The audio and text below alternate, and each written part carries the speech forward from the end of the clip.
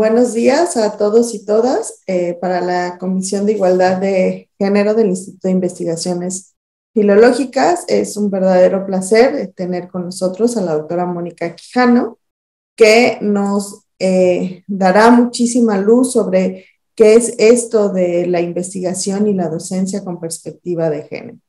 Eh, yo voy a hacer una lectura breve de, de un resumen de una semblanza de la doctora para cederle el mayor tiempo a ella. Eh, la doctora Mónica Quijano es directora de Educación para la Igualdad en la Coordinación para la Igualdad de Género de la UNAM, doctora en Letras Francesas por la Universidad Vincent Saint-Denis y licenciada en Lengua y Literatura Hispánica por la UNAM. Es profesora titular B definitiva de tiempo completo en el Colegio de Letras Hispánicas de la Facultad de Filosofía y Letras, también de la UNAM, y forma parte del Sistema Nacional de Investigación, de Investigadores. Sus áreas de trabajo, tanto en docencia como en investigación, son teoría literaria latinoamericana, literatura iberoamericana, pensamiento colonial y feminista en América Latina y género y educación. Fue coordinadora del Centro de Estudios Literarios del Instituto de Investigaciones Filológicas de 2014 a 2016 y fue integrante del grupo de expertos que redactó en documento las transformaciones institucionales para la igualdad de género y la atención de la violencia de género en la ONU. Ha publicado dos libros de autoría personal y ha co-coordinado otros tres más y cuenta con 23 publicaciones especializadas arbitradas a nivel nacional e internacional y es coautora de tres libros de texto para la educación básica. Fundadora y miembro del Consejo Editorial de la Revista Común, en la cual colabora con una columna mensual sobre género e izquierda desde una perspectiva feminista. Eh, de nuevo, muchísimas gracias, eh, Mónica, doctora Mónica, por eh, darnos esta plática y es un placer eh, recibirla virtualmente en el instituto y esperamos que pronto sea ya presencial. Nadia, pues muchísimas gracias por la invitación. Eh, te agradezco a ti y a la Comisión Interna de Igualdad de Género del Instituto de Investigaciones Filológicas, pues por esta iniciativa. Creo que es muy importante que podamos justo pues ir generando espacios en nuestras comunidades, ¿no? Para ir eh, transversalizando la perspectiva de género y esta es una buena manera de hacerlo. Entonces, pues estoy muy contenta además de estar aquí con ustedes porque, pues, como, como vieron, eh, eh, yo estuve un rato ahí en el instituto, este, en el Centro de Estudios Literarios, entonces, pues para mí el instituto es como mi segunda casa, entonces estoy muy contenta de poder participar con ustedes. Y pues la verdad me da este, mucho gusto, ¿no? Em, eh, poder eh, compartir este espacio, esta reflexión con, con ustedes, con, con, las personas que se acerquen a, a, esta charla en el instituto. Y pues yo les voy a hablar em, de, un poco de qué es esto, ¿no? De la perspectiva de género y por qué es importante que la incorporemos pues en nuestra investigación, en nuestra práctica docente, sobre todo me voy a enfocar mucho en el tema de la práctica docente, con el fin de crear espacios y relaciones igualitarias, incluyentes y libres de violencia. Entonces, eh, preparé una, unas diapositivas, entonces me voy a permitir compartirles. Eh, aquí está. Ahí se ve, ¿verdad? Perfecto. Bueno, eh, para un poco eh, compartir con ustedes estas reflexiones, yo voy a dividir mi charla en, cuatro eh, temas, ¿no? Vamos a empezar justo por, por ver qué es esto, por recordar, por ver qué es esto de la perspectiva de género y qué significa incorporarla en las funciones sustantivas de la universidad. Eh, después vamos a, hablar un poco sobre el androcentrismo y cómo se manifiesta este androcentrismo en nuestras disciplinas. Para después pasar al tema del currículo oculto y de las microinequidades en el aula, es decir, en nuestra práctica docente, y terminar con algunas este, propuestas ¿no? de, cómo incluir la perspectiva de género en nuestros programas de estudio. Entonces, pues sin más voy a, empezar eh, con, esto de qué, qué es la perspectiva de género. ¿no? Em, bueno, aquí les pongo una definición, una primera definición de la, de la perspectiva de género. Eh, esta es una herramienta ¿no? que nos permite identificar la forma en que las características socioculturales asignadas a las personas a partir del sexo convierten esta diferencia en desigualdad social. Entonces, claro, em, a través de esta valoración, ¿no? o sea, de que podamos ir identificando esto, em, podemos emprender acciones que incidan en la creación de condiciones para avanzar en la construcción de la igualdad de las personas. Es decir, eh, la perspectiva de género, ¿no? Parte de la constatación de que hombres y mujeres pues no tienen las mismas oportunidades, ¿no? A pesar de que, por ejemplo, ante la ley se supone que somos iguales, ¿no? Hay una igualdad formal. Eh, en la práctica no sucede así, Y esto produce discriminación porque justo impide o anula el reconocimiento o el, ejercicio de los derechos y la igualdad real de oportunidades entre las personas, ¿no? Por eso decimos que la perspectiva de género a lo que nos invita es a ponernos eh, los lentes violeta, eh, eh, perdón, para que seamos conscientes ¿no? de, que existan estas, de que existen estas desigualdades y también poder reconocer cómo se producen estas desigualdades en nuestros espacios, ¿no? Es decir, cómo hay personas que son más propensas, que están en condiciones de mayor vulnerabilidad para ser discriminadas, ¿no? Es el caso eh, de las mujeres, de las personas de las diversidades sexogenéricas, ¿no?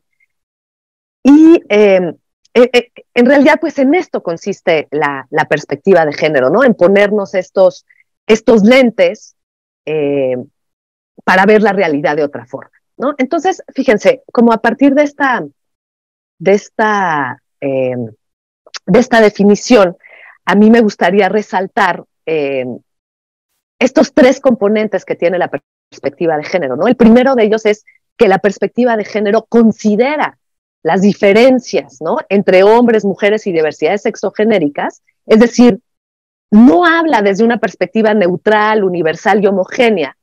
Y a partir de la consideración de estas diferencias, específicas, pues identifica, ¿no? ¿Dónde se están produciendo desigualdades, injusticias, violencias, para poder finalmente incorporar acciones que permitan eliminar las desigualdades y promover la igualdad. Por eso decía al inicio, ¿no? Que, la, que la perspectiva de género es una herramienta, ¿no? De trabajo que nos ayuda tanto para la creación, implementación y seguimiento de políticas públicas e institucionales, como para otras áreas de la acción humana, entre ellas la educativa, ¿no? Eh, como puede ser la investigación, como puede ser la, docencia. Por eso, por eso podemos hablar, por ejemplo, de políticas públicas institucionales y presupuestos con perspectiva de género, pero también podemos hablar de docencia y de investigación con perspectiva de género, ¿no? Entonces, eh, cuando hablamos de incluir eh, la perspectiva de género eh, en las funciones sustantivas de la universidad, lo que estamos diciendo es que necesitamos incluir a la categoría género como un elemento o un factor diferencial que produce desigualdades, ¿no? Por ejemplo, igual otras categorías que producen desigualdades son la etnia, ¿no? O la clase social. De hecho, como ustedes saben, pues muchas veces estos sistemas de opresión se intersectan y entonces esto hace que haya personas que justamente estén en una posición de mayor vulnerabilidad, o sea, por ejemplo, una mujer indígena que vive en un medio rural, ¿no? Ahí se están intersectando algunas de estas categorías, pues justamente va a tener menores oportunidades, ¿no? Que por ejemplo una mujer universitaria, urbana, o sea, también tenemos que considerar esas diferencias al interior de estas macrocategorías, ¿no? Eh, y, y, bueno, una vez que podemos reconocer esto, ¿no? Hacerlo visible, pues justamente se podemos generar acciones específicas para combatir estas desigualdades, ¿no? ¿Cómo hacerlo? Así, a muy grandes rasgos, pues, por ejemplo, en las instituciones o en, las instituciones de educación superior, pues a través de la incorporación de principios, de valores, de prácticas de equidad que avalen la igualdad de oportunidades y derechos entre mujeres y hombres, pues en el currículo, ¿no? Formal e informal, en la formación del personal docente, en las prácticas que llevamos en el aula, en la gestión, en el sistema de decisiones, en la cultura institucional, en el gobierno escolar, en la proyección comunitaria, en el presupuesto, etcétera, ¿no? O sea, justo en eso consiste la transversalización de la perspectiva de género. Esta tiene que eh, llegar, ¿no? A todas estas áreas que, que, que, están involucradas en nuestra vida académica, justamente para poder eh, eh, pues ir construyendo, ¿no? Un, un espacio educativo que sea igualitario, ¿no? Pero pues e, efectivamente lo tenemos que hacer desde diferentes espacios, desde distintos lugares, ¿no? Una sola acción, por supuesto, no es suficiente, ¿no? Por eso tenemos que conseguirla justamente como una política institucional que pueda abarcar pues todos los aspectos de nuestra vida, ¿no? Y en este caso pues de nuestra vida universitaria. Entonces, justamente, como les decía, me voy a regresar un poquito aquí eh, a, la, diapositiva de reconocer las diferencias para identificar las desigualdades, pues eh, lo que tenemos que hacer ya para irlo pues aterrizando más a nuestro espacio, ¿no? Al espacio educativo, pues justamente lo que tenemos que, que pensar es cómo se están produciendo estas desigualdades eh, en, en, el espacio, digamos, educativo, ¿no? Y entonces para eso nos vamos a ir, eh, permítame un momentito, aquí, al androcentrismo en la construcción del, del, eh, del conocimiento. Bueno, como les comentaba, si el primer paso ¿no? de la perspectiva de género es reconocer las desigualdades que se producen por esta diferencia sexual y de género, pues lo primero que tenemos que hacer es identificar estas desigualdades en el ámbito educativo. Y para ello, eh, el, el, concepto de androcentrismo nos puede ayudar. Eh, ¿Qué es el androcentrismo? Bueno, mm, como ustedes saben, es un término que proviene del griego andros, que quiere decir hombre, y que define lo masculino como medida de todas las cosas y como representación global de la humanidad, invisibilizando con ello a las mujeres eh, y em, y bueno, a, las mujeres y sobre todo como sus realidades, sus experiencias, por ejemplo, sus aportaciones al campo de conocimiento, ¿no? Entonces, estas prácticas derivadas del androcentrismo pues han estado presentes pues a lo largo de la historia y en diferentes sociedades, ¿no? De distintas formas, ¿no? Por ejemplo, eh, aquellas vinculadas con el sexismo en el lenguaje o con los sesgos epistemológicos en la investigación, y claro, esto va a tener efectos directos en las representaciones sociales y en la interpretación de las condiciones de vida y las desigualdades presentes pues entre mujeres, hombres y otras identidades sexogenéricas.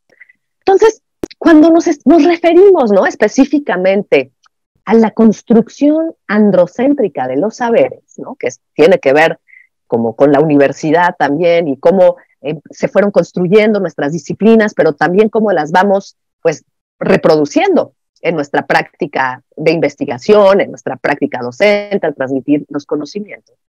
Lo que estamos señalando es que estos, ¿no? Históricamente, pues eh, eh, se han construido desde esta perspectiva masculina, ¿no? Y esto ha implicado que lo masculino pues haya sido tomado como medida de todas las cosas, como dice aquí en la lámina. Entonces, una parte importante, ¿no? Eh, de las acciones que ha emprendido el feminismo académico, ¿no? Desde Simón de Beauvoir y, por ejemplo, Rosario Castellanos en nuestra, eh, en nuestra universidad, eh, que empezaron justo a reflexionar en esto, pues ya con Simón de Beauvoir y, y, Rosario Castellanos, pues desde fines de la década de los 40, pasando por este fuerte activismo de los grupos feministas académicos en la década de los 70, por ejemplo, pues fue hacer visible este androcentrismo, pues en las distintas formas en las que se ha construido y se transmiten los saberes en nuestras disciplinas, ¿no? En las distintas áreas de, conocimiento y en nuestras distintas disciplinas. Por ejemplo, ¿no? En la crítica literaria feminista, pues eh, nos va a mostrar, ¿no? Cómo estos grandes textos fundacionales, que forman parte de las historias y genealogías literarias, pues en general son escritos por varones, pero también van a analizar cómo en estas representaciones literarias pues se ha representado a las mujeres, ¿no? también se van a preguntar sobre las condiciones materiales de la posibilidad de que las mujeres pudieran dedicarse, por ejemplo, a la vida intelectual, ¿no? Y eso, sobre todo, pues hay muchas investigaciones históricas al respecto, ¿no? Los siglos XVII, XVIII, XIX.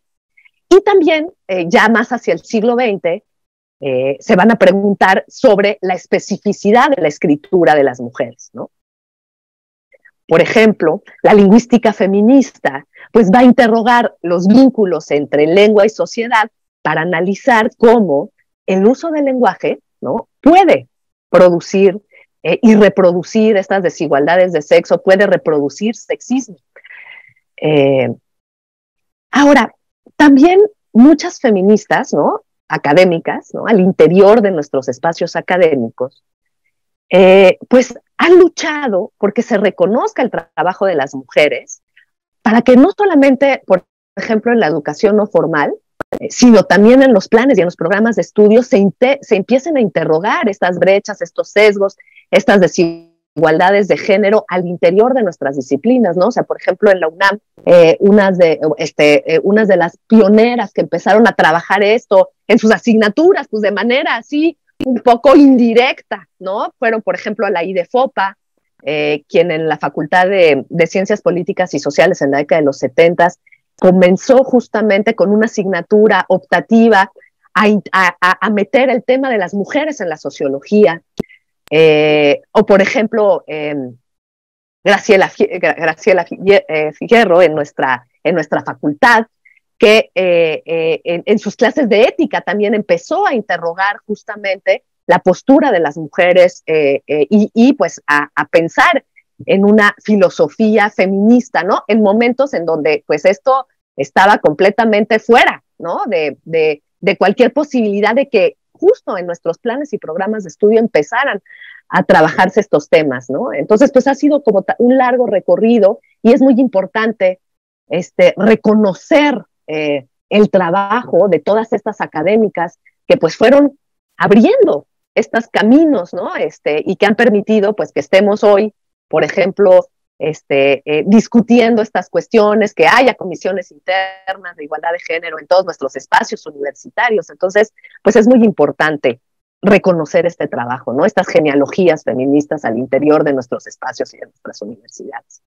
Entonces, pues un poco lo que el androcentrismo en, en las áreas de conocimiento nos está mostrando es cómo los centros educativos, cómo las universidades pues no son espacios neutros, ¿no? Aunque a lo largo del tiempo y la manera en cómo se han construido discursivamente estos espacios y nuestras disciplinas, pues se, piensan como neutros, ¿no? O sea, pensemos, por ejemplo, en todo este discurso en torno a la objetividad del conocimiento científico. Por el contrario, ¿no? Son lugares donde las diferentes interacciones pues se dan a partir de visiones, de valoraciones, de creencias, de prejuicios pues que están arraigados en nuestra cultura y como sabemos, pues desafortunadamente seguimos viviendo pues en una cultura mayoritariamente patriarcal y machista.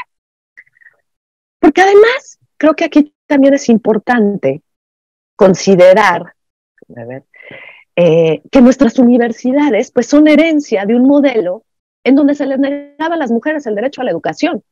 Eh, pensemos en Sor Juana, por ejemplo, ¿no? Nuestro caso más emblemático.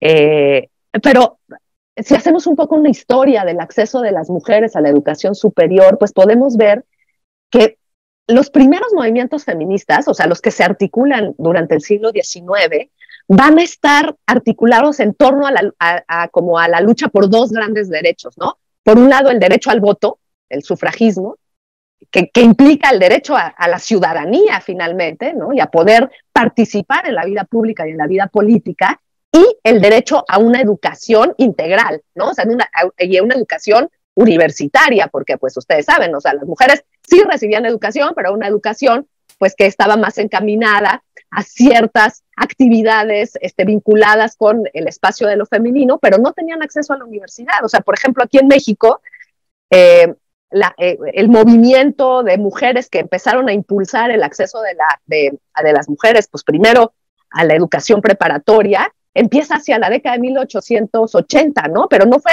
este acceso de las mujeres a la Escuela Nacional Preparatoria no se da sino hasta 1893, por ejemplo, ¿no? Y en realidad es hasta el siglo pasado que las mujeres en México pudieron tener acceso pleno a la universidad, ¿no? Y esto pues se fue haciendo lentamente. Por ejemplo, hacia la década de 1950, o sea, cuando está Rosario Castellanos reflexionando sobre justamente la condición de la mujer en la cultura, el 87.9 de la matrícula universitaria estaba compuesta por varones, ¿no? Eh, y ya va a ser más bien hacia las décadas de los 70 y de los 80 que las mujeres empiezan a ocupar un poco más de espacio en las matrículas, alrededor del 30%, y en realidad la paridad se logra hasta la década de 1990. Fíjense, o sea, si lo ponemos en esta historia de larga duración, podemos ver que nuestro lugar en la universidad pues en realidad es muy reciente, ¿no? Este, justamente es una manifestación de las prácticas androcéntricas que han construido a la universidad como una institución, pues, muy patriarcal, ¿no? O sea, este, este recorrido histórico nos permite ver esto.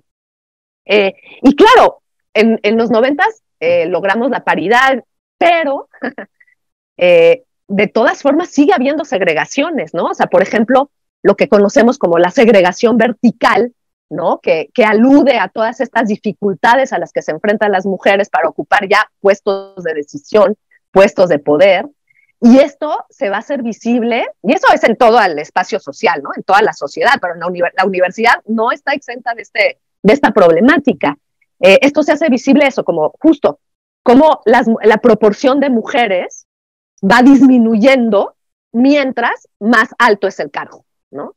Este, entonces, esto va a hacer que su participación en, pues, en puestos de poder y en tomas de decisiones, pues se ve reducida, ¿no? Y es mucho menor si la comparamos con la de los hombres, teniendo en cuenta, eh, por ejemplo, toda la cantidad de mujeres que participamos activamente en el campo de la academia, ¿no? Que somos académicas, que somos profesoras, que, que, tenemos profe este, eh, eh, pues preparación profesional. Miren, fíjense, este es nada más un, detalle muy, muy amplio de cómo están la distribución de direcciones, ¿no? De entidades académicas por sexo. Si se fijan, el 62% corresponde a hombres y el 37, bueno, casi 38 a mujeres, ¿no? Aquí, aquí podemos ver cómo, bueno, aquí está por facultades, por, por, por FES, por EMES, por la coordinación de humanidades y la coordinación científica y el bachillerato, ¿no? Entonces, todavía, si se fijan, pues seguimos, o sea, los hombres siguen ocupando este,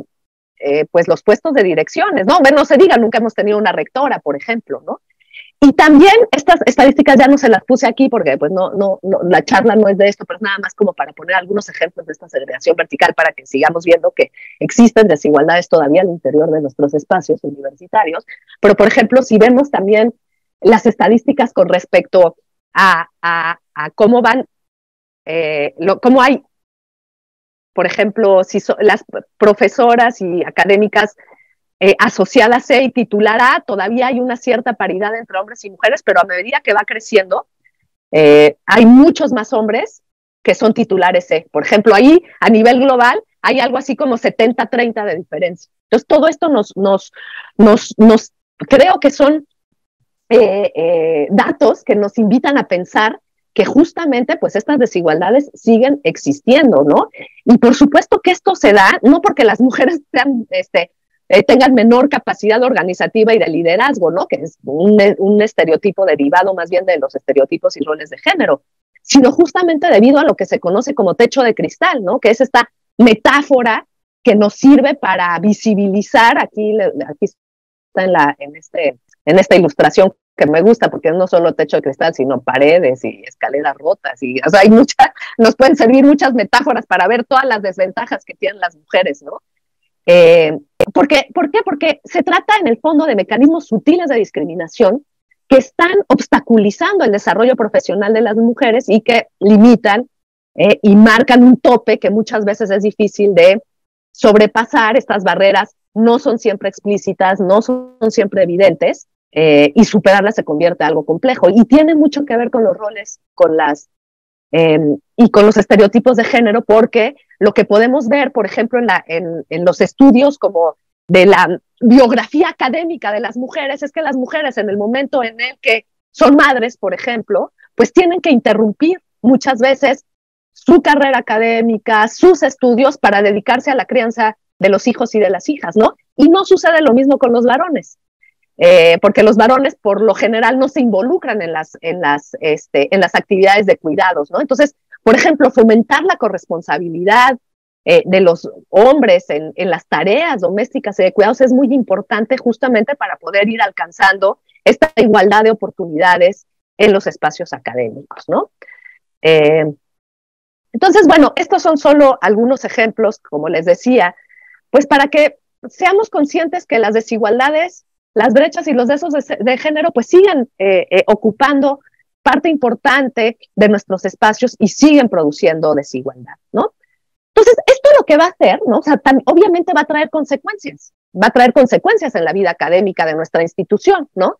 Porque esto va a provocar que tanto en la forma en la que producimos el conocimiento como en las dinámicas académicas de formación, de investigación, de evaluación y de reconocimiento, entre otras, pues muchas veces estén basadas en las experiencias y en las necesidades de los varones, ¿no? Es decir, se construyen desde un punto de vista androcéntrico. Y esto implica, pues, que el espacio escolar sea un campo que instituye estas diferencias, ¿no?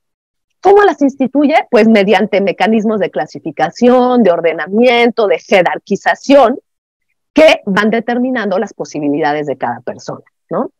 Y claro, en los espacios educativos, pues estos mecanismos de clasificación y ordenamiento, pues operan a través del lenguaje, de las teorías pedagógicas, de los reglamentos, de los lineamientos curriculares y de todas estas prácticas cotidianas que se van instituyendo a través de acciones y de códigos que muchas veces se, pues, se observan como si fueran naturales, ¿no? Y por supuesto que no lo son. Es decir, las instituciones educativas reproducen la lógica cultural eh, de las desigualdades de género a nivel estructural, ¿no? Y claro, Además de todos estos elementos formales, pues van a existir otras formas implícitas en las que se reproduce este orden. Y aquí les pongo una cita de Araceli Mingo que me parece que eh, pues sintetiza muy bien justamente cómo se recrea este orden del género en los centros educativos, ¿no? Eh, nos dice Araceli Mingo, este se recrea, por ejemplo, por medio de las visiones y las expectativas diferenciadas acerca del estudiantado en tanto que sean hombres o en tanto que sean mujeres, del trato que les damos ¿no? a unos y a otras, de las interrelaciones que se dan entre docentes y estudiantes, de las interrelaciones que se dan entre el alumnado, del lenguaje, de las metáforas, de las imágenes que utilizamos, de lo que enseñamos y, ojo, de lo que no enseñamos, también lo que está excluido de nuestra enseñanza nos dice mucho de cómo se reproduce el orden de género de la forma en cómo se distribuyen y se ocupan los espacios, de lo que se castiga o no se castiga, de los modelos de masculinidad y feminidad que se promueven y que se utilizan para sancionar el comportamiento correcto o incorrecto de las personas, ¿no? O sea, eh, eh, se dan en todas estas maneras, muchas veces, pues inconscientes, ¿no? Que, que, que, producen y reproducen este, este orden. Entonces, fíjense, este orden no solo no es ajeno a la universidad, sino que muchas veces pues está en la estructura misma de nuestra, eh, de nuestra institución, ¿no?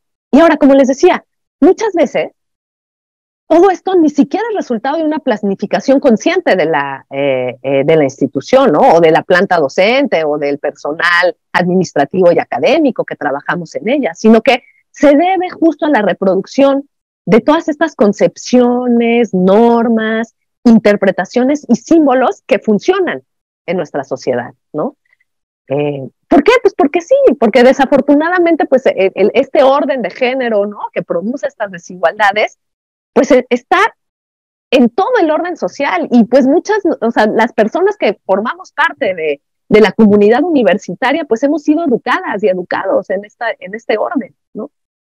Por eso es tan, tan difícil también de pronto desmantelarlo, ¿no? Porque está muy arraigado en nuestras maneras de ver la vida, de pensar, de actuar, etc.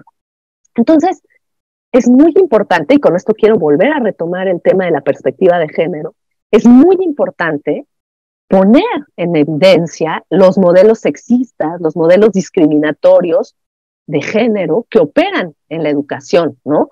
Poder detectar sus procesos, detectar sus mecanismos, que pueden ser conscientes o inconscientes, que pueden estar visibles, pero también que pueden estar ocultos, y que de alguna manera están normalizados en nuestras escuelas para que a partir de ese reconocimiento podamos generar, pues, justamente una práctica académica que contribuya a la igualdad de género y que contribuya, obviamente, a la erradicación de las violencias por razones de género, en este caso, en nuestros espacios, ¿no? Entonces, fíjense, volvemos al mismo esquema, o sea, la perspectiva de género lo que nos pide es identifiquemos dónde se están produciendo desigualdades, discriminaciones, violencias.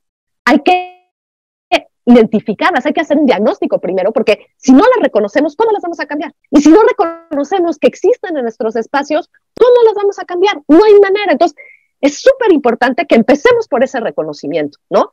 Mucho de lo que, por ejemplo, las estudiantes, mujeres organizadas eh, eh, en, las escuelas y en las facultades eh, promueven y, y, pues muchas veces demandan, ¿no? Es ese reconocimiento.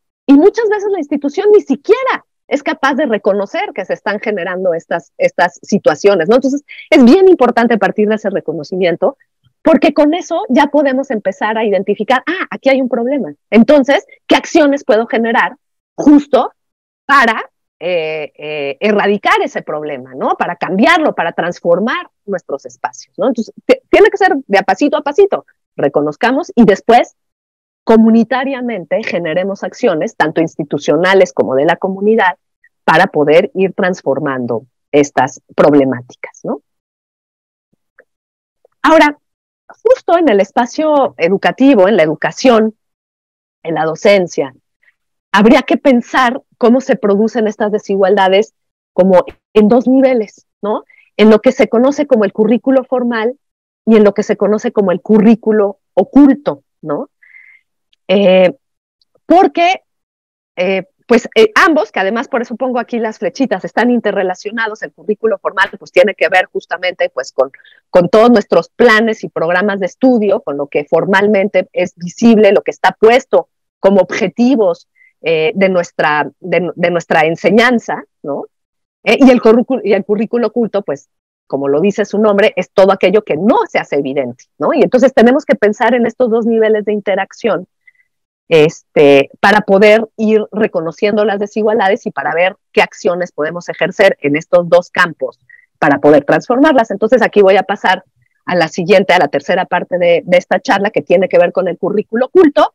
Y ya, nada más para finalizar, la, última parte voy a trabajar más el currículo formal, es decir, cómo podemos ir incorporando la perspectiva de género en nuestros propios programas de estudio. Entonces, pasemos aquí al, al currículo oculto, y las microinequidades en el aula. Aquí está. Empecemos por definir el currículo oculto, ¿no? ¿Qué es? ¿Qué es el currículo oculto? Pues miren, aquí este, eh, les pongo eh, una definición. Dice, son los conocimientos, las destrezas, las actitudes y valores adquiridos mediante la participación en procesos de enseñanza, aprendizaje, en todas las interacciones que suceden en el aula, que no se hacen explícitas como objetivos de aprendizaje en el currículo formal, ¿no? Claro, y obviamente, pues existe un, o sea, existe un currículo oculto, pues de muchas este, formas, ¿no? O sea, existe un currículo oculto de clase, social, existe un currículo oculto, pues de, de racismo también de pronto, ¿no? Porque implica, pues, a veces nuestros prejuicios, y por supuesto que existe un currículo oculto de género, ¿no? que consiste a su vez en toda esta serie de valoraciones, de códigos, de normas, de ideas, de supuestos, de mitos, de discursos, de conceptos, de creencias, de relaciones de poder, de roles. Podemos este, a esta lista ponerle muchas acciones más que están reforzando constantemente la discriminación hacia las mujeres y a lo que se considera femenino. ¿no? Entonces, este currículo oculto pues involucra aspectos como estilos de enseñanza, ¿no? o sea, nuestra práctica pedagógica, los usos del lenguaje, cómo utilizamos los espacios, ¿no? Eh, las expectativas que tenemos sobre las y los estudiantes y las formas en cómo vamos interactuando con el alumnado dentro y fuera del aula, ¿no? Entonces, para referirme a, a estos tratos desiguales, voy a retomar un concepto que propuso Berenice Sandler. Berenice Sandler es una académica norteamericana que en la década de los 90 hizo un estudio pues así de, de campo en muchos espacios educativos para identificar cómo ya en la práctica cotidiana, en el día a día, se producían estas este, desigualdades y discriminaciones en el aula por razones de género. ¿no? Y eh, Berenice Sandler, Sandler define como estas prácticas como microinequidades, ¿no? Y así, así lo define Sandler. Dice, las microinequidades son los tratos que reciben las personas a través de pequeñas inequidades reflejadas en diferencias por género, raza, edad u otra condición diferente o ajena. Ahora, esto es muy importante y lo dice Sandler, si estos comportamientos no se advierten, pueden irse acumulando y con eso se genera un efecto dañino en las personas que lo están padeciendo. ¿Por qué? Porque debilitan la autoestima, la, la confianza, la aspiración y la participación de las personas, pues en el aula, ¿no? En, el, en la vida académica. Ahora, fíjense, aquí es bien interesante porque yo creo que podemos cruzar este concepto de microinequidades que propone Sander con el concepto de micromachismos, ¿no? Porque las microinequidades que se dan por razones de género, pues son micromachismos, ¿no? Y aquí es bien importante, cuando decimos que son micro, no es porque sean, no es porque no, no es porque su efecto sea menor, sino porque son pequeñas acciones que se están ejerciendo constantemente todo el tiempo, que como están naturalizadas y normalizadas muchas veces no las reconocemos, pero que como van así, como de a poquito, de a poquito, de a poquito, pues se van acumulando y van produciendo todos estos efectos del debilitamiento del autoconcepto, eh, de la confianza, de la participación de las mujeres en estos espacios, etcétera, ¿no? Entonces, eh, las microinequidades y los micromachismos, pues, abonan a la construcción de, de ambientes hostiles, ¿no? que van a generar las condiciones para la realización de actos de violencia de mayor gravedad, ¿no? Eh, eso lo podemos ver, pero todo el tiempo, ¿no? Muchas veces eh, los actos de violencia de género contra las mujeres o contra las personas de la diversidad sexogenérica más visibles, pues son los actos de acoso sexual, de hostigamiento sexual, eh, bueno, y por supuesto, pues más graves las violaciones, etcétera. Pero todo eso es posible porque hay un sustrato que permite que haya un trato discriminatorio y diferencial hacia las mujeres, porque, pues como lo sabemos, ¿no? O sea, eh, y aquí voy a meter un paréntesis. Sí, ya sé, a los hombres también este, eh, eh, sufren violencia, etcétera, ¿no? Pero tenemos que ver las estadísticas, porque aquí es muy importante ver no solamente a grandes rasgos, sino quién, quién violenta y quién es violentado o quién es violentada. Y en la violencia por razones de género, la mayor parte de quienes ejercen violencia son los hombres. Y la mayor parte de quien recibe violencia son las mujeres o son las personas de la, de la diversidad. Y fíjense, cuando un hombre es víctima de violencia de género, por lo general, su agresor es otro hombre. Entonces, aquí hay que tener mucho cuidado porque sí, la violencia de género sí se da porque hay toda una condición, un sustrato que permite que a las mujeres o a las personas que no eh, eh, siguen los mandatos de género, no siguen lo que tiene que ser un hombre y lo que tiene que ser una mujer, este, se les ejerce violencia como castigo social. Y eh, entonces hay que tener mucho cuidado porque justo estas microinequidades y estos micromachismos forman parte de toda esta gran estructura de la violencia de género. ¿no? Entonces, por eso es súper, súper importante que como docentes, que como personal académico, estemos constantemente revisando estas prácticas para ver si inconscientemente no las estamos reproduciendo, ¿no? Es nuestra obligación también, como parte, o sea, como parte de esta comunidad universitaria y porque así nos lo pide nuestro código de ética de la universidad, tenemos que respetar y procurar en nuestra práctica docente, en nuestra investigación, la igualdad entre las personas, ¿no? Entonces no podemos tener acciones discriminatorias, y en ese sentido, es nuestra responsabilidad ver, si lo ignoramos, cuáles son esas prácticas discriminatorias, ¿no? Porque aquí no vale como, ay, yo no sabía, no, pero tu obligación como persona docente, como eh, persona que forma parte del personal académico de esta universidad es saber en dónde puede haber discriminación, en dónde puedes estar ejerciendo eh, algún tipo de violencia para que revises tu práctica y la, eh, pues la transformes, ¿no? De eso se trata, de que transformemos nuestros espacios.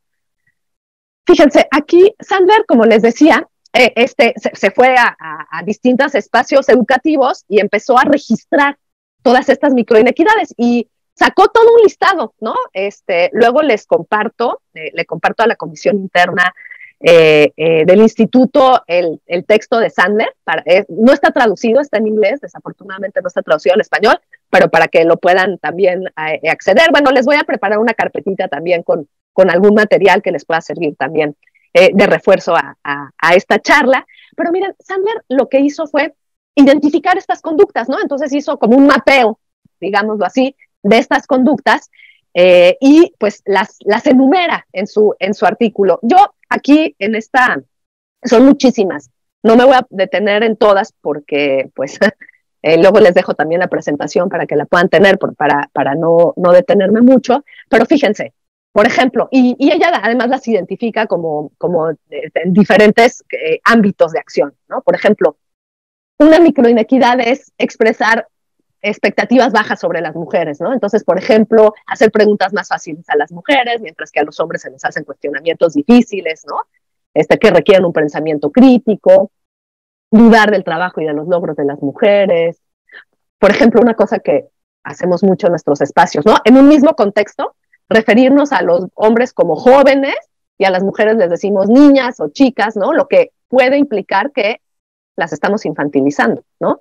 Aquí nada más quiero también poner un paréntesis, no estoy diciendo, o sea, también a veces utilizamos estas expresiones afectivamente y decimos chicos, chicas y tal, eso está bien, mientras no infantilicemos, pero el problema es cuando a los hombres sí les decimos jóvenes y a las mujeres niñas o chicas, ¿no? O por ejemplo, pasaba mucho en, en las tomas de, las, de, la, de, de, escuelas y facultades que se tendía a decir, ay, estas niñas no saben lo que hacen, ¿no? Pues claro que sí, son actoras políticas y tenemos que considerarlas como tales, aunque no estemos de acuerdo con eh, sus prácticas, ¿no? Pero hay que tener un reconocimiento y una manera, pues justamente de degradarlas es infantilizarlas, ¿no? Y de no, reconocer su agencia es infantilizarlas. Entonces tenemos que tener mucho cuidado con esta infantilización, ¿no? Eh, por ejemplo, juzgar a las mujeres por su apariencia física, ¿no? Y esto implica un montón de cosas que van hasta los comentarios que hacemos sobre las apariencias de las estudiantes, de nuestras colegas. No tenemos por qué hacer ningún comentario si no se nos lo pide, ¿no? ni de cómo estamos vestidas, ni de nada, ¿no? Ni de si estamos, este, si somos guapas o no somos guapas, si nadie se los está pidiendo, no, no, gracias, no externen ese tipo de opiniones, ¿no? Este, por ejemplo, asignar tareas al grupo según roles y estereotipos de género, ¿no? Eh, pasa mucho en los festejos, ¿no? Y eso también entre colegas. Eh, cuando hacemos una celebración y traemos el pastel y el cafecito, ¿quiénes son las que sirven? Las mujeres somos las que servimos y los hombres por lo general no se involucran en esas tareas. Entonces, pues hay que hacer estas, hay que repartir estos roles, ¿no? Y irlo este, procurando. Eh, por ejemplo, el uso del lenguaje, ¿no? Dirigirse al grupo en genérico masculino. Ay, perdón. Me pasé. Eh, dirigir el. Eh, ya, creo que está. Dirigirse al grupo en genérico masculino, lo que hace, pues, es un poco ignorar la presencia de las mujeres, otras identidades de género. Una cosa que sucede muchísimo también y que hay que poner atención en nuestros espacios, en nuestros seminarios, con nuestras colegas y nuestros colegas, pero también con, con, con el estudiantado, es el tema de la interrupción de las mujeres, ¿no? El famoso en los micromachismos o machismos cotidianos que se llama el maninterrumping. Híjole, eso también está ya, pero estudiadísimo estadísticamente. A las mujeres se nos interrumpe como 10 o 15 veces más que a los varones, ¿no? Eh, entonces tenemos que poner atención si, por ejemplo, nuestras, nuestros estudiantes están interrumpiendo a sus, a sus, a sus compañeras, si les están este, no dejando que terminen su participación, si están completando sus frases, porque son cosas que suceden muy, muy en el día a día, que como les digo, están muy naturalizadas y yo creo que hay que empezar a observarlas para decir, para verlo en el grupo y decir, ojo, aquí está pasando esto, no lo hagan, vamos a escuchar, vamos a dejar que su compañera termine, ¿no? Y en nuestros seminarios también de investigación, ¿no? No interrumpamos a nuestras colegas mujeres, o sea, dejemos que terminen. Eh, es, es, muy importante este, este tema, ¿no? Eh, por aquí. el tema de desalentar a las mujeres mediante este, fórmulas de cortesía, ¿no? Este, por ejemplo, eso de, ay, qué bonitas se ven las, las estudiantes el día de hoy sonriendo, ¿eso qué si estamos en un espacio académico, ¿no? Eh, ser excesivamente amables y paternalistas al tratar de ayudar a las mujeres, ¿no? Porque así, eso, volvemos a lo mismo, es una manera de infantilizar a las mujeres, hay que tener cuidado con esas prácticas, ¿no? Aunque pueden parecer como manifestaciones de cariño, a veces, y como que les, les digo, no es reconocerlas ya como adultas, ¿no? Y como sujetas de conocimiento, de decisiones, etcétera. Y bueno, obviamente aquí vamos subiendo de tono, estas últimas pues son muy graves, ¿no? Eh, hacer comentarios peyorativos sobre los problemas de las mujeres, ¿no? O sea, por ejemplo, tomar a la ligera el acoso y la agresión sexual diciendo que no es tan importante, que en la universidad no se da tanto, que qué exageradas son las estudiantes, etcétera, ¿no? Este, hacer comentarios sexistas en general sobre las mujeres, los famosos chistes machistas, ¿no? O sea, es el uso del humor de manera eh, hostil para estar este, eh, discriminando y, violentando a, las personas, ¿no? Eh, por supuesto, pues ya también tener actitudes este, eh, pues abiertamente sexuales con nuestras estudiantes o con nuestras colegas, ¿no? O sea, el famoso acoso y hostigamiento sexual, pues ese lo tenemos que erradicar absolutamente de nuestras prácticas del día a día en nuestros espacios académicos. Entonces, hay muchas, muchos ámbitos, muchos espacios que tenemos que cuidar que tenemos que este, eh, reconocer como espacios en donde se pueden producir estas violencias y como les digo, ¿no? O sea, uno de los elementos fundamentales de, que tenemos como responsabilidad, ¿no? Como, como eh, personas que pertenecemos a, la comunidad universitaria, pues es revisar nuestras prácticas, ¿no? Revisar lo que estamos haciendo en nuestros espacios, revisar nuestras prácticas docentes, eh, ver, ¿no? Si inconscientemente estamos o no reproduciendo en el aula, en los espacios de investigación, en los seminarios, en los espacios de intercambio con colegas, estas desigualdades, ¿no? Tenemos que empezar por interrogar nuestro lugar. Y eso solamente lo podemos hacer con un trabajo autocrítico sobre la forma en la que estoy concibiendo la enseñanza, el aprendizaje, eh, eh, la, producción de conocimiento, ¿no? Eh, para que podamos identificar los sesgos de género que podríamos estar reproduciendo en nuestras prácticas académicas, ¿no? y bueno, en esta parte, pues es fundamental, por ejemplo, ya en nuestro trabajo en el aula, pues eso, reconocer las dimensiones del, del currículo oculto, ¿no? O sea, identificar estas formas, estas microinequidades, estos micromachismos, este, que están produciendo desigualdad de género y cómo estos este, pues, eh, reproducen muchos de estos factores en el propio proceso de enseñanza-aprendizaje, ¿no? Algunas preguntas para el autoexamen, ¿no? Que podemos, este, que podemos eh, utilizar, ¿no? ¿Cómo reconozco prácticas y elementos que propician o perpetran la desigualdad en mi espacio académico, ¿no? ¿Cómo estoy incorporando? Bueno, si lo estoy haciendo o no, hay que empezar por eso, ¿no? Y si, este, eh, ¿Cómo estoy incorporando las reflexiones referidas a situaciones de, desigualdad que se manifiestan pues, en nuestra sociedad en general? ¿Y qué estoy haciendo yo con el fin de hacer un diagnóstico para reconocer cuáles de estas desigualdades se están produciendo o reproduciendo en el aula y en mis espacios académicos? ¿no?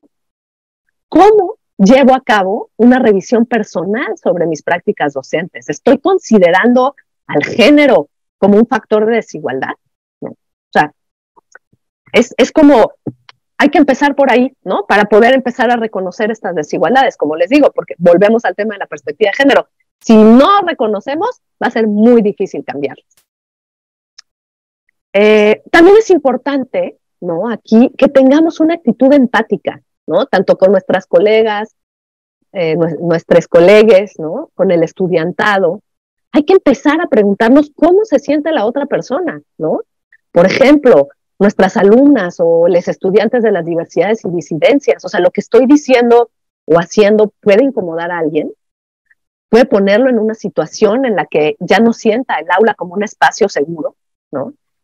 Eh, porque tener un trato respetuoso e igualitario no va a menoscabar pues nuestra legitimidad como, como personas docentes, ¿no? Al contrario, lo que va a permitir es un trato respetuoso y eh, eh, que, rompa con relaciones jerárquicas y de poder y que permita generar estas condiciones para tener espacios libres de violencia, ¿no? Hay que empezar con nuestra propia práctica.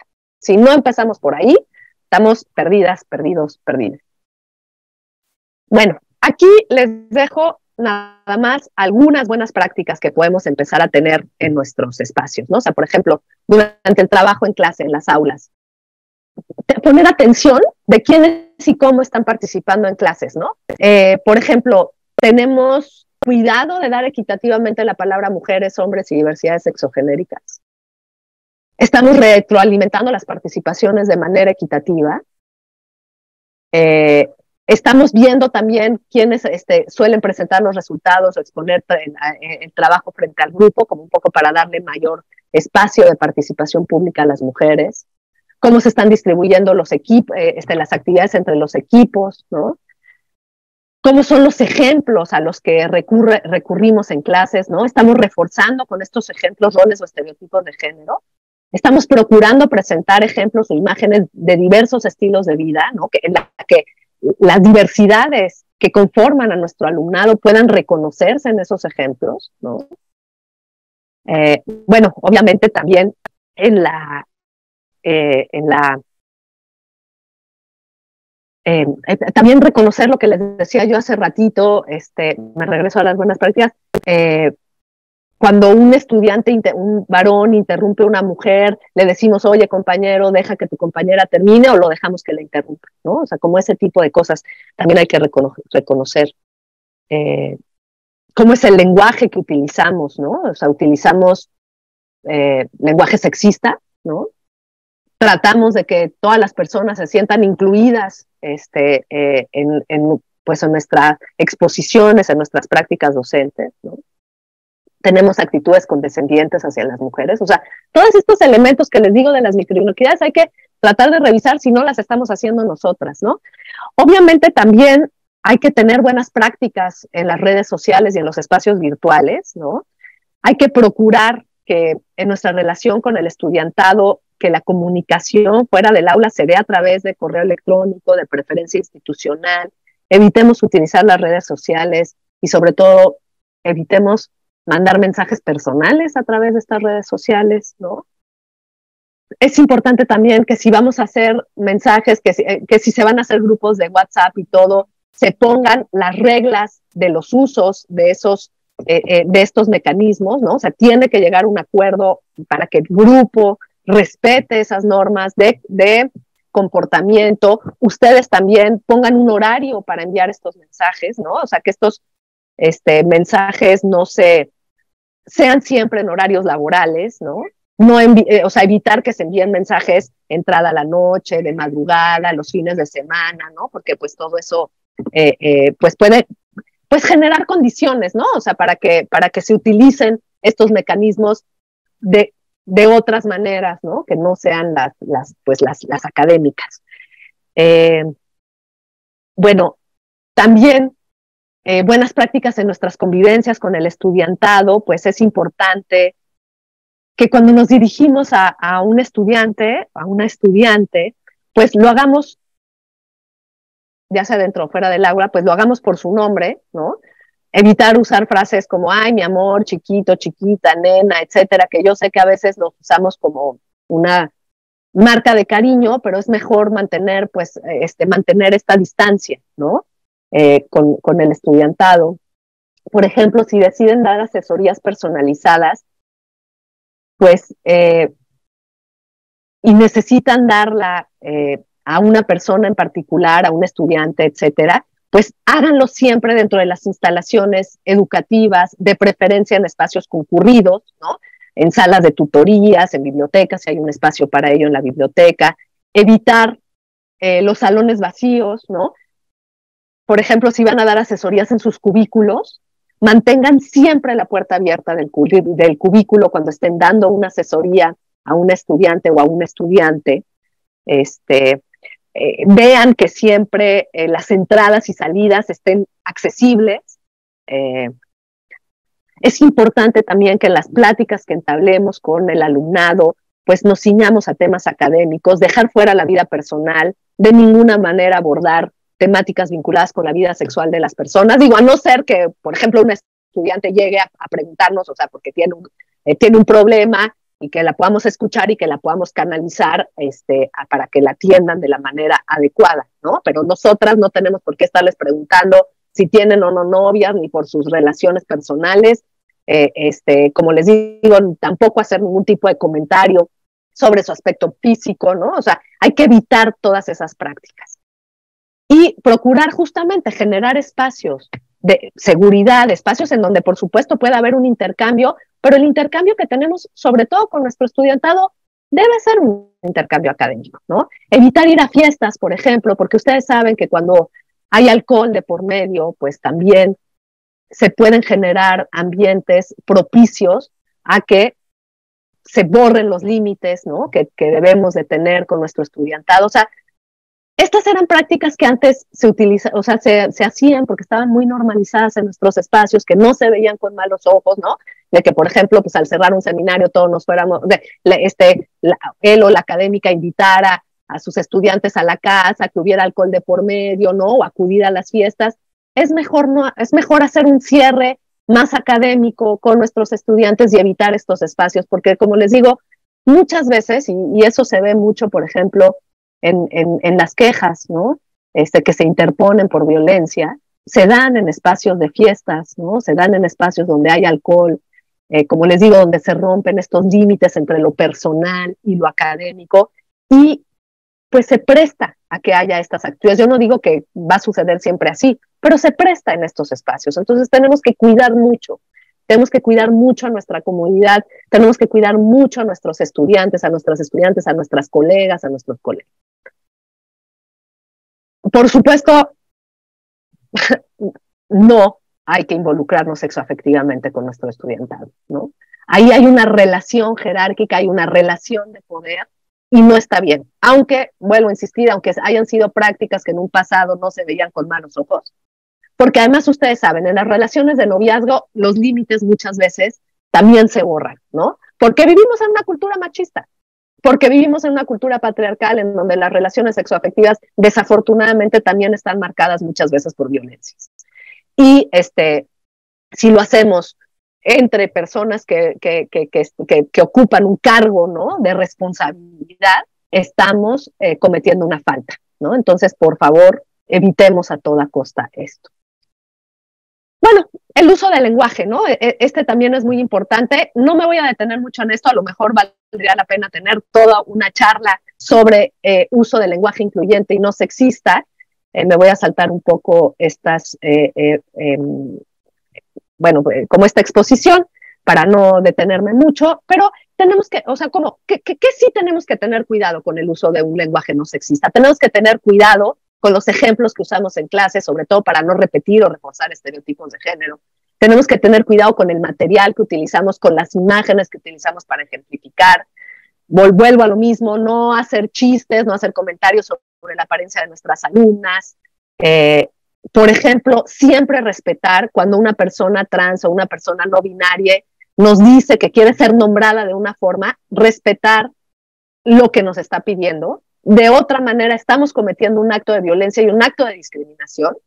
Entonces, por favor, este, hay que respetar mucho también el nombre elegido de, de la o el estudiante que llega con nosotras, aunque sea un nombre distinto a las listas, siempre, siempre, siempre eh, dirigirnos a esta persona con el pronombre o con el nombre que nos está pidiendo que le dirijamos, ¿no? O sea, estas sí son cosas que no podemos transar, ¿no?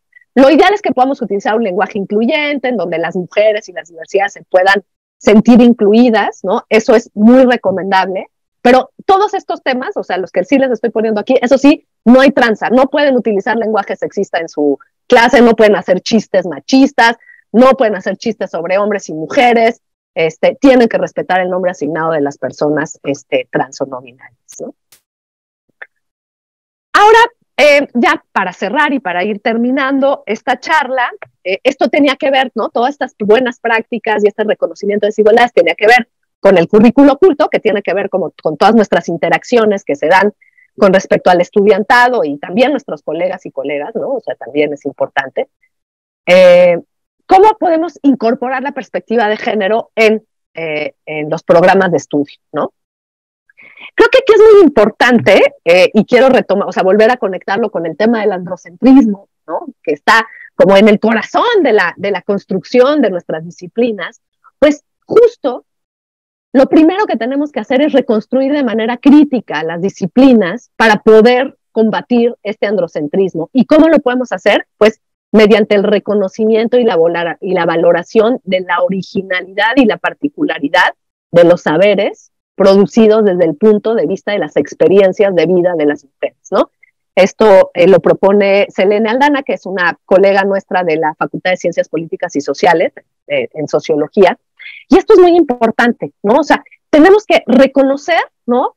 Esta particularidad de los saberes producidos desde el punto de vista de las experiencias de las mujeres, ¿no? O sea, que implica no solamente reconocer el trabajo de nuestras colegas mujeres, sino también el punto de vista desde donde estamos hablando las mujeres. Y lo importante de este punto de vista para nuestra historia de las disciplinas, para la, para para la producción del conocimiento mismo al interior de eh, nuestras, nuestras disciplinas, ¿no?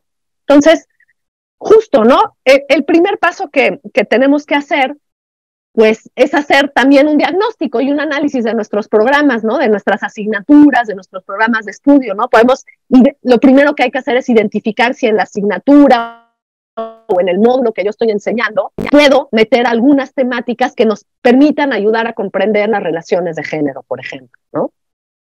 Identificar en nuestros programas qué conocimientos, qué habilidades, qué, qué actitudes relacionadas con la perspectiva de género son necesarios para la práctica profesional de, nuestra, de nuestro estudiantado y que podemos este, desarrollar dentro de nuestras asignaturas, ¿no? Porque acuérdense, o sea, estamos formando a las y los futuros profesionistas, ¿no? Entonces, es muy importante que tengan también no solamente conocimientos, que es bien importante, por supuesto, y tenemos que promover que salgan muy bien formados y formadas en nuestras áreas de conocimiento, pero también tenemos que promover que sean profesionistas que tengan una responsabilidad y una ética profesional que respete en todo momento la igualdad de género y que la promueva en su práctica. ¿no? Entonces, ¿cómo podemos justamente nosotras desde nuestras propias asignaturas promover justamente esta práctica profesional igualitaria, incluyente, libre de violencias? ¿no?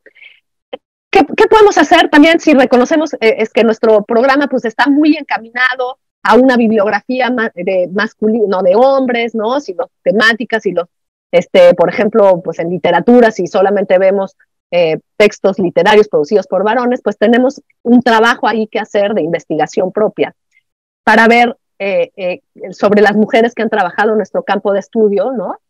Para conocer sus aportaciones, para conocer sus textos, para conocer el tipo de material que hayan elaborado y empezar a incorporarlo en nuestras eh, bibliografías y a nuestras temáticas, ¿no? Entonces, eso implica, como les digo, hacer este diagnóstico y revisión de nuestro programa, de nuestros contenidos, de nuestra bibliografía, este, eh, justamente para poder generar acciones, ¿no? O sea, ¿qué podemos hacer en nuestros programas de estudio? Pues, por ejemplo, utilizar un lenguaje incluyente y no sexista en el programa, ¿no? O sea, eh, tanto en los objetivos como en los contenidos, como el perfil profesiográfico, eh, porque muchas veces nuestros programas, o sea, redactados en, o sea, los programas de las asignaturas, digamos, que están en, en, los tomos, en, los planes y programas de estudio, pues están redactados con un lenguaje no incluyente, ¿no? Entonces, pues cuando nosotras redactemos el programita, adaptemos el programa que vayamos a compartir con nuestro estudiantado al inicio de cada eh, ciclo escolar, de cada curso, pues procurar utilizar lenguaje incluyente. Por supuesto, procurar incorporar a los contenidos de nuestro programa aportaciones que han hecho mujeres a los diferentes temas que vamos a estudiar. Y, por supuesto, también, eso sí es importantísimo, pues evitar contenidos que reproduzcan estereotipos de género, que reproduzcan una visión androcéntrica del conocimiento. Si es necesario abordarlo, ¿no? Por alguna razón, pues es, pues es importante que los problematicemos en conjunto con el grupo, ¿no? Por ejemplo, la relación que tienen estos contenidos con las relaciones de género. Esto se puede hacer mucho eh, en, asignaturas en las que vemos historia, ¿no? O sea, historia de la Edad Media, historia de la Antigüedad Clásica, o sea, puede reconocer en el grupo pues cómo en estas sociedades pues se partía de una desigualdad, o sea, no ignorar esta desigualdad de género y poder abrir algunos temas, ¿no? De discusión sobre esto, ¿no? Y, sobre cómo, pues, históricamente, pues se, se han mantenido y se han producido estas desigualdades. Este, por ejemplo, si están dando una, una asignatura que esté, o en sus seminarios de investigación con estudiantes, con colegas, eh, pues incluyen propuestas sobre investigación feminista o, investigación con perspectiva de género. O sea, que por lo menos sus estudiantes conozcan que hay esta opción y que pueden también utilizar metodologías, ¿no? Que partan de la perspectiva de género, metodologías con una perspectiva feminista para hacer sus trabajos de estudio, ¿no? Y creo que sí es importante que las conozcamos, por lo menos, para poder este, abrir ese espacio, en, eh, como les digo, en asignaturas que están vinculadas con investigación. Cuando consideremos estrategias de enseñanza y aprendizaje, eso, pues seamos conscientes de las microinequidades de, de género que pueden ocurrir en el aula para evitar en nuestra práctica docente reproducirlas, ¿no? Eso no se va a dar de manera natural, o sea, tenemos que hacer esa revisión y sí tiene que hacer como ahí sí un esfuerzo, ¿no? Para que cuando estemos ya frente al grupo, dando la clase, etcétera, no reproduzcamos estas inequidades, ¿no? Por supuesto, incorporar bibliografía básica y complementaria escrita por mujeres, este, tanto en la temática de estudio como, en, como las expertas, ¿no? Que, que, que, hacen estudios en nuestro campo. Si no encuentras, eh, dedica un espacio de tu clase para reflexionar por qué no hay ¿no? bibliografía producida por mujeres. En, el Instituto de Filológicas ese no va a ser un problema, porque afortunadamente tenemos muchísimas aportaciones de mujeres en los distintos campos, ¿no? De este, en las distintas áreas, en los distintos eh, centros, ¿no? De nuestro, del instituto. Entonces, pero sin incorporarlas, ¿no? Existen, entonces vayamos haciendo un esfuerzo por incorporarlas en nuestros programas. Es decir, y con esto quiero terminar, reconocer a las mujeres como sujetos con autoridad epistémica, ¿no? Reconocer las experiencias de vida de las mujeres y no asimilarlas a la experiencia masculina. Y aquí termino con estas preguntas, ¿no? Que que, propone Selene y que me parecen muy importantes. O sea, ¿qué hay de las mujeres en nuestra disciplina? ¿Dónde están? ¿Cuáles mujeres? ¿Y quién tiene el poder? Muchísimas gracias. Muchísimas gracias, doctora Mónica Quijano. De verdad creo que son temas muy importantes que, que nos servirán mucho a todos y todas los miembros de aquí del instituto porque estamos inmersos tanto en trabajo en aula como seminarios de investigación, ¿no? Y creo que, que un primer paso es entender, ¿no? ¿Qué es, qué, es esto de la perspectiva de género y cómo podemos, ¿no? Nosotros ir reconociendo eh, desde nosotros mismos, ¿no? Eh, pues cómo, cómo actuamos en, en, en nuestras aulas, en nuestros seminarios, en nuestros propios centros, ¿no? La, propia relación que tenemos con, con, con, con, todos y todas las colegas que están aquí, ¿no? Entonces, le agradecemos muchísimo y no sé si tengan como alguna duda, comentario, eh, Carolina, Angélica, como miembros también de esta comisión interna. Angélica. Angélica, perdón. Eh, solo me entró la duda si tienen algunos datos o cifras de, de cuántas mujeres tienen SNI, a diferencia de los hombres, o los niveles más altos, el 3 y las mujeres en el 1. Sí, tenemos datos. Eh, necesito corroborar si sobre SNI, pero sobre este sobre el programa de estímulos y al interior de la UNAM también, o sea, las distintas categorías y todo, eso sí tenemos. Eh, se los puedo compartir también. Ah, se, se sacó un pequeño informe sobre todas estas brechas y desigualdades de género al interior de la UNAM, en donde se pueden ver justamente todas estas estadísticas, porque sí, efectivamente, a mayor nivel, menos mujeres. O sea, eso es así, pero se ve clarísimo. Y también está como por áreas. Eh, por ejemplo, está también el subsistema de investigación científica, el de, el de humanidades, etcétera. Gracias, Mónica. Yo ahí, pues, muchas gracias, Mónica. pues me gustó mucho la, la presentación y las reflexiones y no solamente a nivel informativo, pero también a nivel de cómo, cómo aplicar esas, esos conceptos. Porque también, pues yo lo que quería comentar es también un poco sobre mi experiencia en el aula, que, que va más, creo que en algunas de las diapositivas que mencionó, sobre todo con esas citas de, de la colega en ciencias políticas, está muy enfocada en la mujer y no tanto en la sexodiversidad. Entonces, algo que también creo que en la aplicación y de, respetar justamente esas poblaciones sexodiversas es el uso de pronombres y nombres distintos. Lo que yo pues me he dado cuenta después de varios años de intentar aplicar eso, es que al intentar ver eso, muchos estudiantes y en la lingüística, como soy lingüista, ni saben qué son pronombres. Entonces hay que empezar desde básicamente con qué es un pronombre y además, luego, me, al inicio yo les preguntaba, pues, cuál es su pronombre, cuál es su nombre, cuál es como que para presentarse, pero luego sentía que era, tal vez faltaba sensibilidad, exigir que digan eso. Entonces, porque tampoco siento que es la responsabilidad de alguien de esa población vulnerable tener que explicar todo eso a mí que es mi responsabilidad tener un espacio seguro. Entonces, a veces eso, aunque digamos, hay que hacer eso, esos como detallitos son muy complicados en realmente sensibilizarnos en cómo, cómo realmente uh, tener ese espacio y, fomentar ese espacio seguro.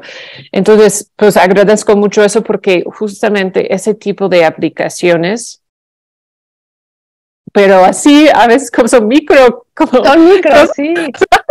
y como así y así, o como también me tocaban muchas veces, me sorprend, bueno, muy sorprendida que me tocó ver casos de estudiantes proponiéndose para entrar en los posgrados con su pareja, hombre, siempre era hombre, como su tutor propuesto.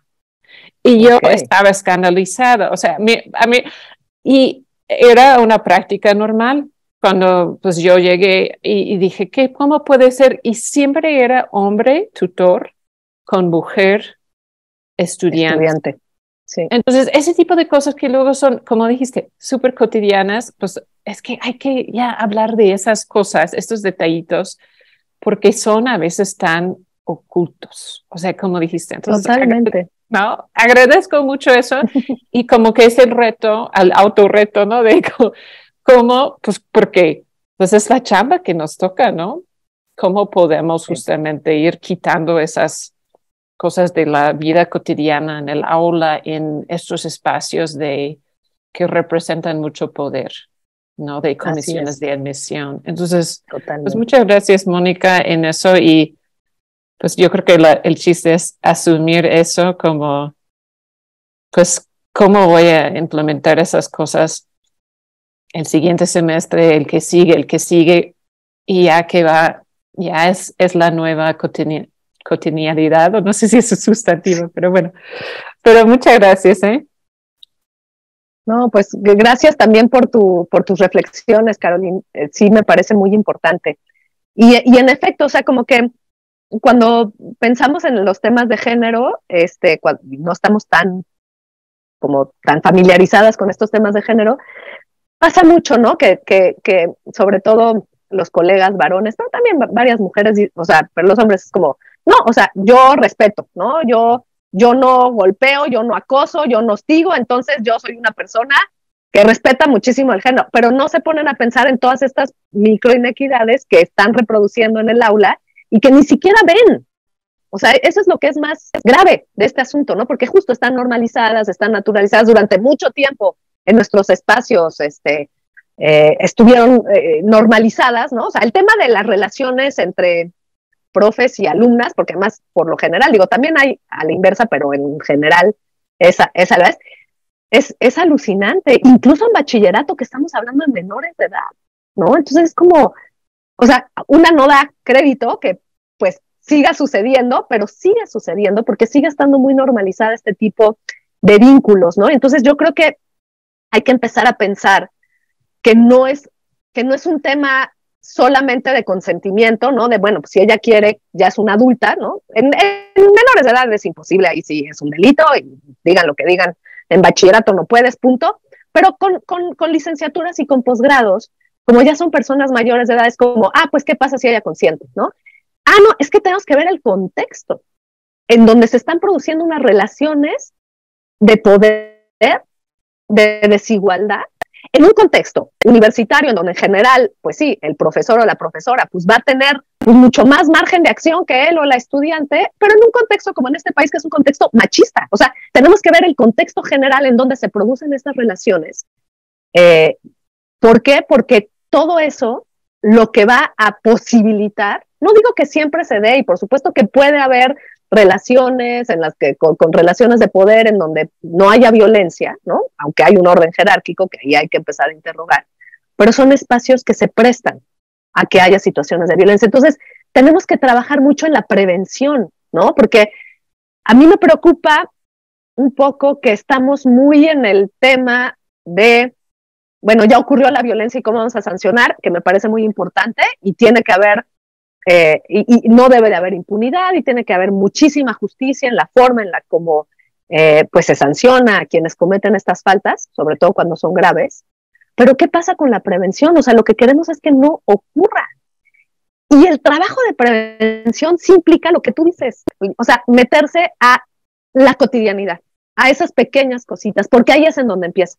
Ahí es en donde empieza justo la violencia, ahí es donde empiezan a producir las desigualdades tenemos que ser conscientes de lo que estamos produciendo y poco a poco, o sea, yo sé que es una transformación lenta, no lo vamos a hacer de un día para otro, pero ya el simple hecho de poder empezar a sensibilizarnos, a reconocer que a lo mejor de manera inconsciente estamos pudiendo reproducir estos espacios, entender que los tiempos han cambiado, que también se ha ido normando las conductas, pues también, o sea, a través de la legislación. Y muchas de estas conductas que antes no estaban normadas, ahora lo están, como una forma también de prevención de violencia contra mujeres, contra personas eh, de las diversidades sexogenéricas, aunque las personas de las diversidades están todavía menos protegidas, ¿no? Este, en términos de leyes. Eh, pero también, o sea, hay todo un aparato que también es institucional, que ha ido moviéndose poco a poco y pues muy perfectible y necesitamos seguir trabajando muchísimo porque hay mucha impunidad, pero en donde sí se empieza a reconocer. Y yo creo que un punto importante es que a partir de las protestas de las, de las estudiantes organizadas, a partir del, del 2020, la violencia de género es una falta grave en, nuestro, en nuestra normativa universitaria y eso también va a tener muchas implicaciones si la cometemos. O sea, si no lo entendemos por el lado amable, digamos, de que si queremos transformarlo, hay que entender pues que pues ya no, ya no, ya no es tan fácil, ¿no? O sea, no vas a salir tan impune de una situación este, en donde puedas estar ejerciendo violencia, ¿no? Y ahí sí hay una responsabilidad que tenemos, pues, el personal académico, porque somos responsables de la formación de nuestras y nuestros estudiantes y somos responsables de su seguridad también, ¿no?